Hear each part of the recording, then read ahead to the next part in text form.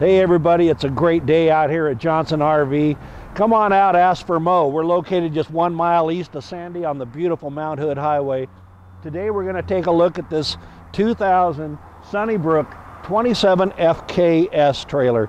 This coach has an unloaded vehicle weight of around 6,800 pounds, plus about 2,800 pounds of carry capacity, so you can really get down the road double door entry on this. This is one of my favorite floor plans of all these coaches. Double door entry, huge awning, antennas, solar panel, really great storage area up there with a ladder access so you can get up and carry product up on top of the coach, your camping gear.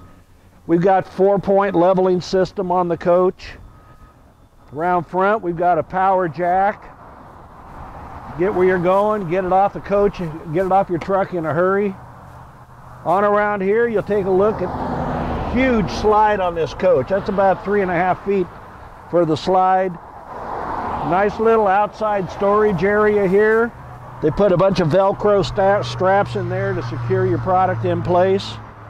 Coming on around this side, we have our outside shower, really great. If you go down to the beach, you can get that sand washed off your feet. Come on around the back of the coach.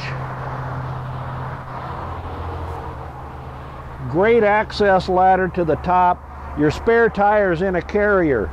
Reach behind the carrier, pull the pin, carrier slides out.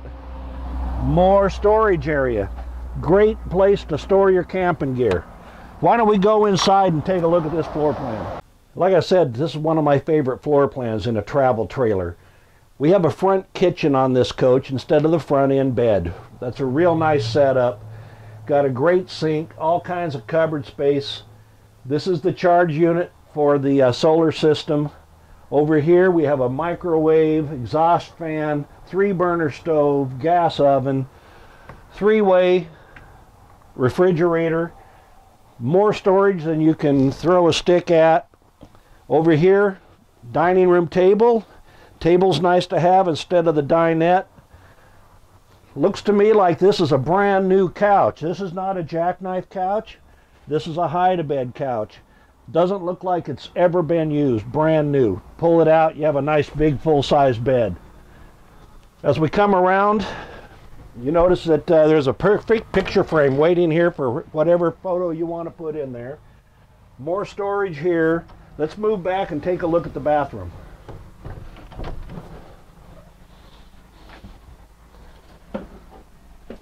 Here in the bathroom, it's really nice because you've got a separation. People out front can get into the bathroom while you still have the privacy for the bedroom. Toilet, sink. On this side, very nice shower. Shower with the sunroof. Put a shower curtain on there, you're ready to go. Back here we have the bedroom. And again, I mentioned this is one of my favorite floor plans. This is why go out to that campsite, back your trailer into the campsite. That means your bedroom is as far away from that road as you can possibly get it, which is a real handy deal. Underneath the bed,